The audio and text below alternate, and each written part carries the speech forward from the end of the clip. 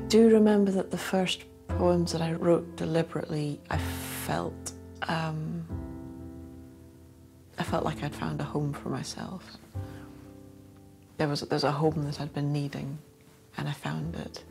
And I think um, I don't know about for other poets, but I think for me it's been a a, a journey of happy chances and coincidences. So um, I keep trying to give it up, and I keep because it's not that straightforward a life really, and, it, and it's a hard life for many folk to relate to.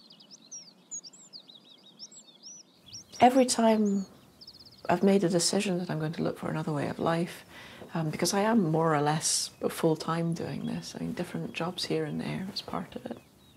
Um, something dramatic always happens to hold me to it. It's usually it's usually practical, and it's rarely things that I sought out so it, it holds me to it whether I want to be held to it or not. And very often I would be, I think, much happier to be um, working in a school or, um, or in the lab or, or whatever.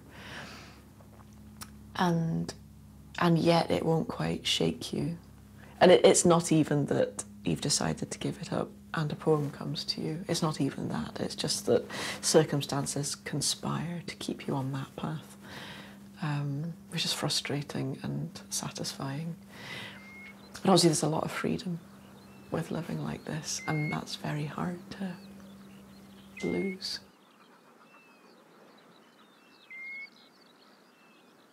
It's almost like a life has a momentum of its own, and if you're willing to just let it happen to you, then you find yourself more or less in the right place and not needing to question whether you're in the right place too much either, which I think a lot of people find hard to imagine. I get asked a lot if I'm here forever, um, if Shetland is going to be home forever. Um, and I don't think you can, I don't think you can say really. But I don't worry about it either. I don't have that, um, should I be living somewhere else kind of feeling very much. Well, I suppose there's, there's two things. There's trying to write and there's poetry coming to you and I'm still in two minds as to whether you need both of those. I need to be writing a certain amount to be ready for if one of those poems does come out of the blue. I need to be writing a certain amount before I can feel that I wouldn't lose it. I write poetry, I write it, I don't compose it in my head, but I, I edit it speaking out speaking it out loud over and over and over again. And that helps me find the rhythmic current through the poem. And if I don't do that enough, then I end up with something quite cluttered and quite often quite unsayable, but feels more like a piece of writing. But having said that, of course, the best writing probably communicates like speech, anyways.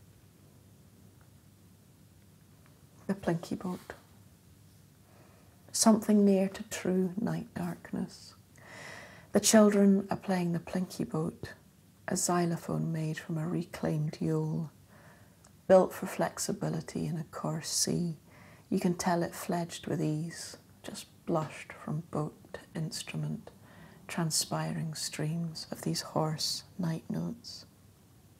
For its copper pipes are cut to breadth exactly, so the boat's beam is its sotto voce, and two rills of rising pitch run into the harmonic of each honey spot, where the boards of gunnels and stem flow together. I don't know what it is about this place that things metaflower so readily into their present selves. The instruments, a boat, the notes unresonant, and scales of thin light swarm over the pipes from the boys' head torches. Perhaps we heard seals broaching in the harbour as they answered the girls' hand clapping game. I doubt they moaned in their haunted wise. Here was everything, words lost as I'm trying to say their echo, that yodel into past and future. The poem wouldn't exist, but we couldn't stay.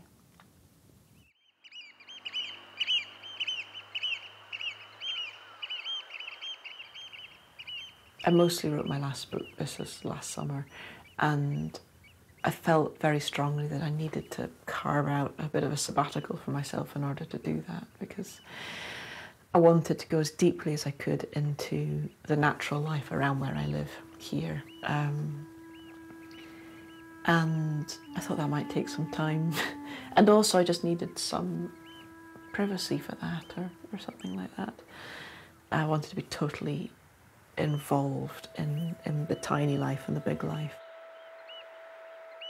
So I cleared myself a little bit of space in the summer um, just to be thinking about being a writer again and to get some time to read for myself again and, um, and to write. And I spent most of it just over the, the back wall there, um, just on the cliffs and in a, in a sort of a hidden valley that you can't see any houses from. And um, I knew there were particular organisms that I wanted to get closer to, and I still want to get closer to, like puffballs um, and bivalves. I like bivalves a lot.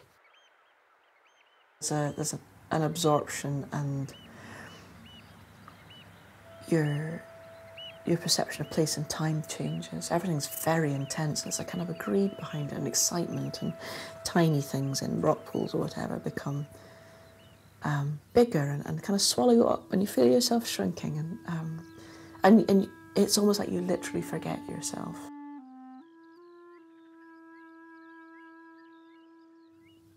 I think the closest thing to my definition of definition of happiness is being able to forget yourself